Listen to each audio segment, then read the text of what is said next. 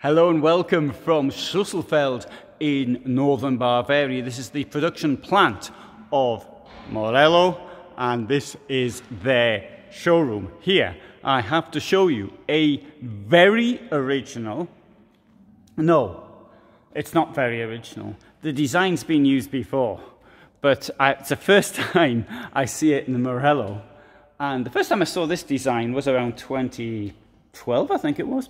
And uh, now one or two companies still do it. Some of the Trigano group still do it, but they don't do it this well. And so uh, let's have a look at it. Okay, so that looks very Morelo Morelo-ish, as you can see. Now, it's this bit at the back, which is uh, more unusual. First time I saw it, hey, that's really I think it was one of Trigano, I can't remember, Challenger or something. But so what we've got here is this double bed with this enormous television up there. It's a television on wheels. And uh, you've got at the back there, you've got the the the uh, you, you, close the doors at both ends, I suppose, or just one end, as you feel fit and uh, there's the washroom out there. Central washroom. Now, the advantage of something like this is the amount of space it gives you in the washroom overall. Toilet here. So, uh, this comes off like that. And let's do it on the other side as well. This comes off very easy. Oh, that is so gentle.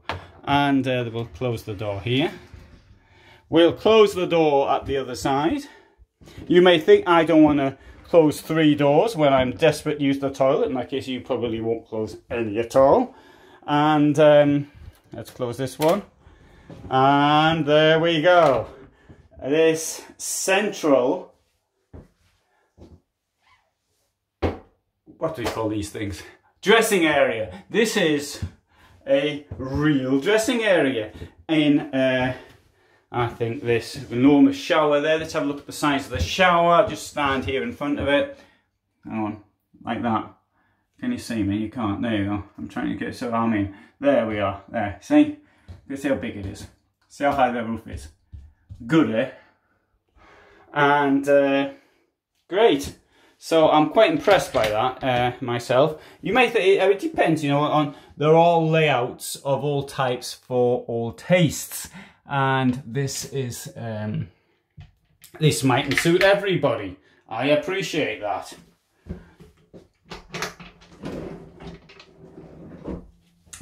But anyway, that gives a more unusual. Um, I didn't point out the uh, uh, the storage there you go it's a bit of a wardrobe there. There's a bit of a wardrobe in the dressing area and there's a bit of a wardrobe over there. So there's a few bits of wardrobes uh, around in the stairs. There's also a bit of space down there. This one here doesn't open up at all. Um, good. Let's come out and see what we've got here. So here we've got three burners we have got a bit of space uh, here um, for preparation. And if you don't want to use that you've got there one sink. We've got here there's the second sink.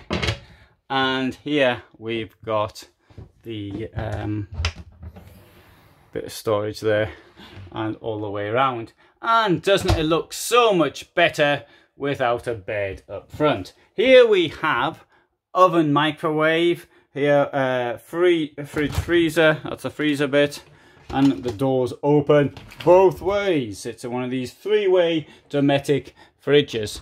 Uh, right, there's the door. The door doesn't have a key, it's a security door. And uh, so what happens when you forget the code? Uh, same as what happens when you forget the key. At least I think with the code you could actually ring them up and find out what the code is, which you can't really do if it's a uh, if you lose your key. Sorry, putting the wrong thing there. Uh, this is for tea towels and uh, gives you an idea what the drawers look like.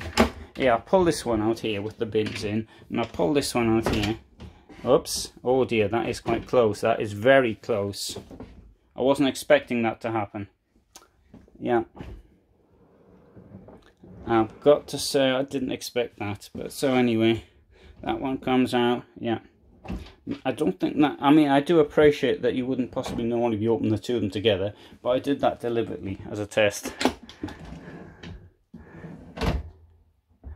Um, anyway, good. Uh, here we've got the flat floor all the way to the back. This is on Iveco Daily. And uh, I think I'll show this storage as well. Quite a lot up there quite a lot for this position. Unfortunately this is this is wasted. I can't stand having wasted space anywhere. Right now as far as the insulation is concerned this is a big point for me in any motorhome. This is is done in such a way that there are no cold bridges. You can see it's got a huge double floor storage in the double floor uh, it's um, so, so it's pretty efficient at keeping the warmth in. Uh, if we come up here, we can see uh, the electrics, which uh, uh you can see you turn your 12 volt on and off from there. And uh, so solar panel controller, bat what the batteries are up to. And there we've got light, light switches and it's got one of them really awful coffee machines. There are plenty of uh, USBs and uh, also shore power plugs around, quite a lot in fact. And even in the back, uh, back the bedroom as well, you can actually get connected. So you can charge your phone next to the bed. The uh, It comes with a uh, aircon and uh, extractor fan. These fans are pretty efficient actually, and also because it's quite it's quite uh, it's relatively uh, cool inside. Of course, I mean with all these windows, it's gonna it's gonna get hot. But uh, um, I have uh, used these uh, in the uh, summer with just the extractor fans on, and, they they do a pretty good job. And that was in 30 degrees, as it is right now. Let's have a look around the outside.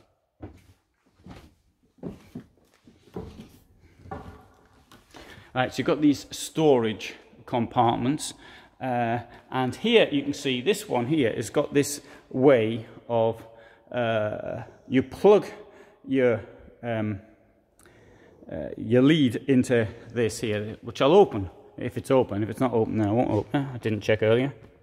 No, it's not open. You see, you, but if the lead you can't get the, the black lead there out. The blue one, you would be able to pull it off, but uh, you'd normally have a, a full length one anyway. Huge garage here. It comes with a reversing camera.